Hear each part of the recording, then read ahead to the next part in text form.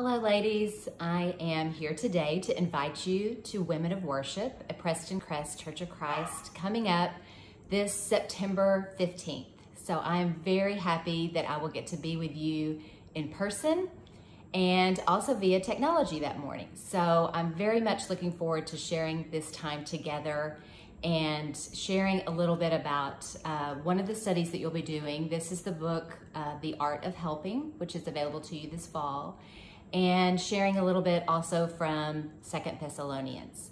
So I'm praying for you, and I hope that you will be with us and uh, join us on September 15th for Women of Worship. Thank you.